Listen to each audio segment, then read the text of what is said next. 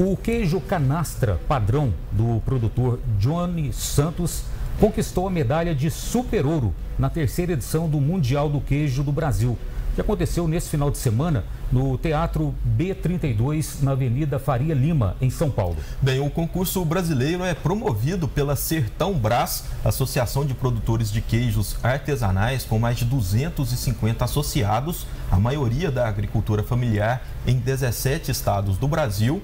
E o evento ele é realizado também em parceria com o Mundial do Formage da França e o Mundial de Fundi na Suíça. Além do super ouro conquistado pelo queijo canastra do Johnny, Piuí conquistou outras oito medalhas no Mundial. Foram elas: Barão da Canastra, três de ouro e uma de bronze, Faso Bem Orgânicos, uma de prata, Laticínios Vanita, uma de prata e uma de bronze, e Vereda da Serra, uma de prata.